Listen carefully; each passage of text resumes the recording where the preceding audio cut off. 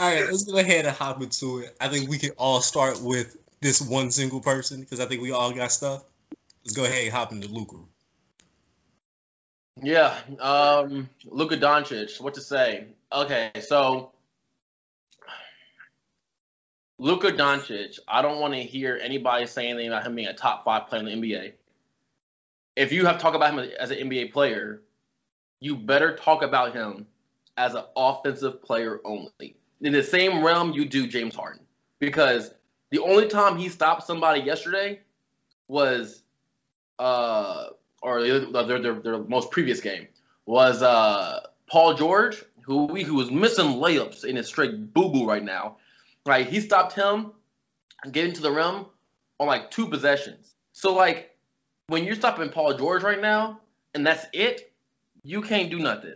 So I don't want to hear nobody like people are people say James Harden isn't the best player in the NBA purely based off of his defense, right? He, that's been his that's been the the narrative around for years.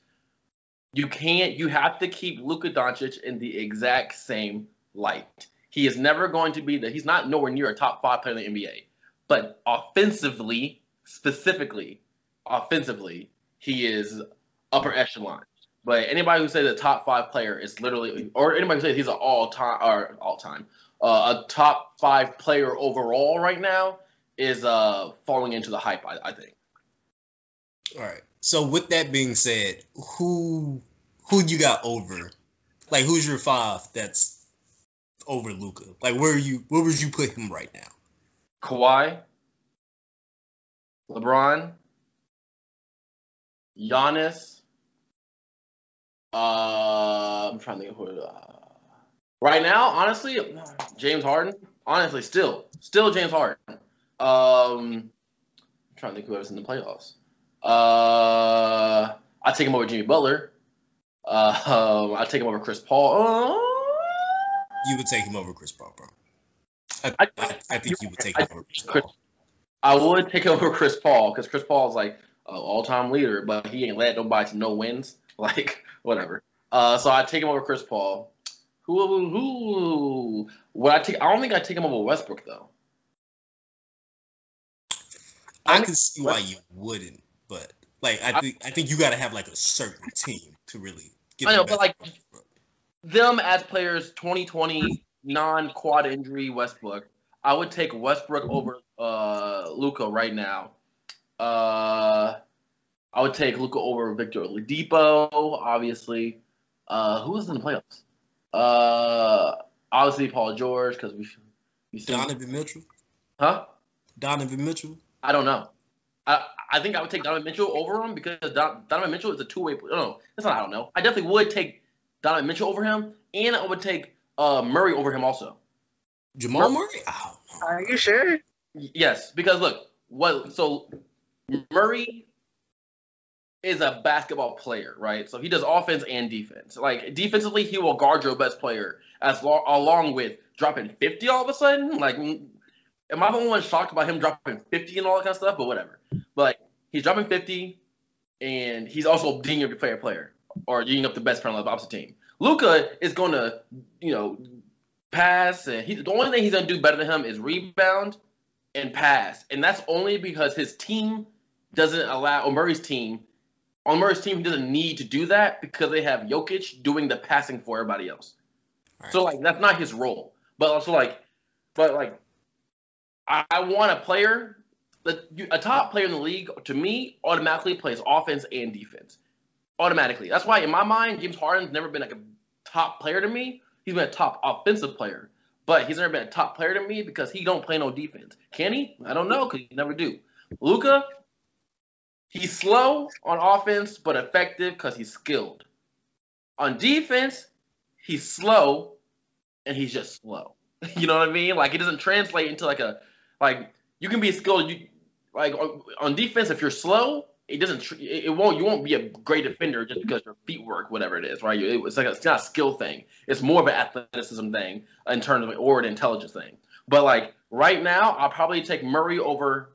I would take Murray over uh, Luka. I'll take Donovan over Luka just because they're both two way players, and I like two way players more than just an offensive guy. All right. So I got a question for you on the Murray thing. Yeah. Murray.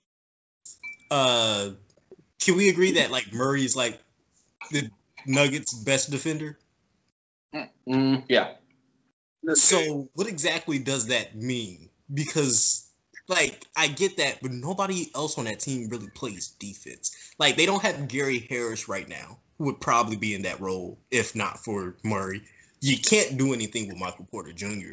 What Will Barton is is he still getting minutes for them? Like I don't. So They you don't really got like a lot of I don't, I. I, I don't think he was in the bubble. Like he he hasn't been in the bubble to play. So what do you mean, like in terms of deep, like what, Like, like, is he like the he's the option? Like he's the number one defender. Like, yeah, but he's, he's, number one- not your number one like defender. He's- like he wouldn't actually be your person if you had other people. He no no. He's uh, Murray, especially when he played you know all last year, whatever it is. He was known as an elite defender of guards. That's what he was known. Like he would that was like his mo, right? Now he's starting to get this like he's always been like a good offensive player, but now he's starting to get like a uh, he's like that tier under under under elite, right? Like he's like really really good, I guess, offensively. But he his mo was a defensive, like a true very, very, very good defensive player. Like that's what he was, right? So like, but I personally, like every all-time great person in the league, all-time great player in the league. Uh, when you talk about just all-time great overall players, has been a two-way player. And Luka, right now, even though he's 21, whatever, and he's already he's already getting compared to the all-time, I, I, the all-time greats like for some reason they're already passing him past like the all-time European greats, right? Even though Dirk exists and is like a top ten scorer of all time or whatever, but like they're already he's they're already for some reason like surpassing him in the in the, in the realm of the, Dirks and the Ginobili's and the Kukocs and all kind of stuff, right? They're like he's a oh he, he's going to be an all-time great player, and in my mind, and I've thought about this for a while because I don't want to come off as like a Luka hater because. Yeah, I just don't want to call him a Luka hater. But offensively, he is phenomenal. Like offensively, he's smart, skilled. He, well, he's smart and skilled. That's how he scored all his points, and that's how he gets all his assists. But to be an all-time great player, you have to be able to play defense, and he can't play defense. He's like Steve Nash, except six eight, and plays point guard. Does that make sense? I get that, but as long as you six eight, you can you can do something. Like you, you you will always be serviceable at six eight. You say, um, yeah, you, you can do something, but did you watch the game? I think I, I only caught like the second half. Yeah, no, he's not even doing. He's not. He's not doing serviceable, but it's like smoking mirrors because offensively, he's doing all these different things, right? Like the balls, he's touching the ball every possession. He's oh, he's he did all this on a whatever ankle, you know what I mean? But like, so all that is like like he's destroying offensively. Anything offensive in the game, he is destroying. But then there's two parts of the game, and the other game, people will just like turn a blind eye, a blind eye to because he's doing these things. Off- but also, I think we've been fed the agenda of defense doesn't really matter for whatever reason. You know what I mean? Like, but even though, like, in my opinion, like in my opinion, Kawhi's the best player in the NBA. But you, would say Kawhi, you could say uh Giannis. I don't no one say Giannis can't shoot a three. But you could say Kawhi, or you could say like LeBron, right? And they both, for the careers, except LeBron, when he got older in like the last two years in Los Angeles, played offense and defense, which made him the best players automatically. You know what I mean? You think of all-time great players, all great offense, great defense. Um, but also, uh, like speaking of the defense, I was watching this. I was watching the game, and I thought it was interesting that, first of all, Reggie Jackson should not be in the league. Uh, if, if if Lance Stephenson is not in the league, Reggie Jackson should not be in the league. I don't know how he, I don't know how he's playing. Like when he was Oklahoma City, somehow he somehow he bamboozled the uh the Detroit Pistons GM to make to, to, to make him believe that he's a starting point guard. That's just a bad organization, bro. We we let that slide. Like in fairness to him though, like right before he signed with them, wasn't it like a series like a series or two in the playoffs? He just like showed out.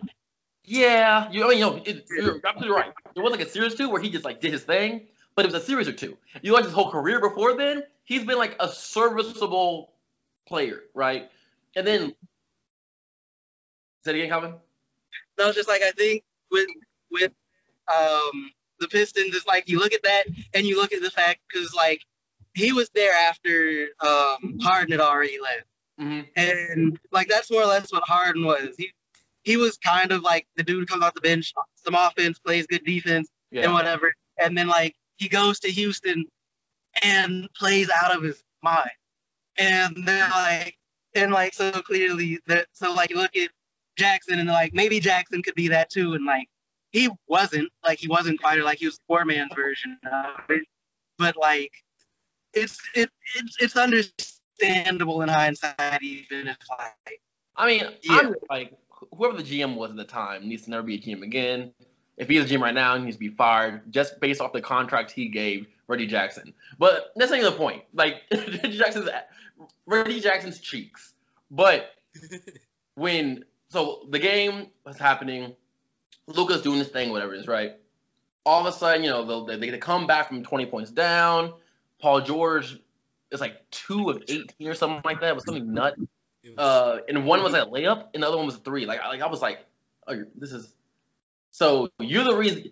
He's the reason Melo couldn't be in the league, because everybody blamed Melo, and it was really Paul. It was really uh pandemic uh playoff Pete. That's who it really was. But like, I, I, I digress. Um, but then I was watching it, and Reggie Jackson, since Patrick Beverley's not playing, also if Patrick Beverley played, they would have won the game easily because Patrick Beverley like automatically brings the intensity up. But they were they're playing, they were going to the game, whatever it is, and Rudy Jackson was guarding Luka. Luka killing this guy, just slow crossover, step back, high. You know what I mean? Just slow, methodical, killing this guy. And I'm over here like, oh, okay, like they're coming back. They came back, past them. This Todd game is, you know, it's it's flip flopping back and forth. And then, Ka- and then Kawhi pointed to Luka. He he literally pointed to him, and all of a sudden I was like, okay, okay, so what's going on now? Next possession, Kawhi guards Luka. Luka scores zero points on like six straight possessions. No assists, nothing. Kawhi was really shutting this man down, but then going back and out of and hitting mid, hitting crazy mid-range shots. Out of 12 mid-range shots he took, he missed two the entire game. And they were just contested, like fade away, like but like there was a point where he hit four of them in a row. Like he was just guarding Luka, boom, boom, came back, scored. Guarding Luka, boom, boom. It was, it was, it was incredible to watch. And then when they when I, when Luka, I get I don't know if the coach called it, I don't know if Luka called it, but he wasn't doing nothing.